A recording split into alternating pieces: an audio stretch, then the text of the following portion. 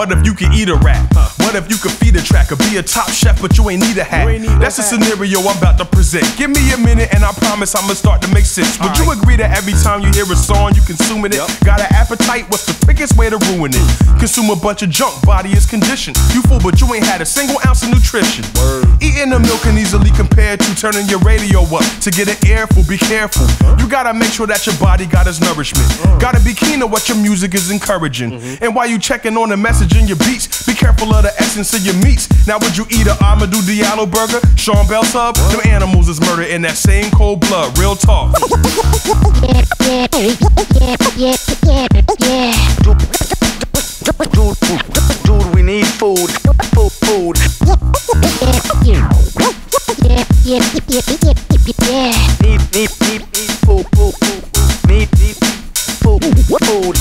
some of y'all might be a little bit reluctant to listen to my theory and admit I'm onto something. Maybe you think your diet is a major change to go through, and you ain't beef for hippie foods like bean sprouts and tofu.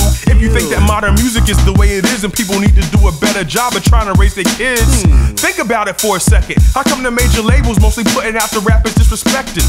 How come unhealthy foods are usually the cheapest and way up in the front of the store? I know you peeped this. You think a diet in but nothing stops. More than ever, fellas got the bubble bellies, women got the muffin tops. And I'm not making fun, I'm simply trying to make a statement.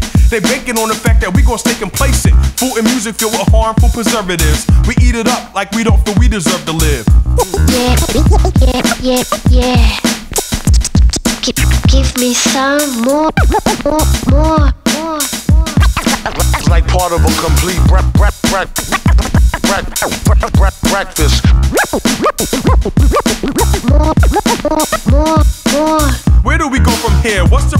Why can't we have consumption without having executions? Whether you're talking about animals or people, when you consuming murder, then you manifest as evil. It's all about mental conditioning. Most of what we think we really need to lead to some kind of imprisonment.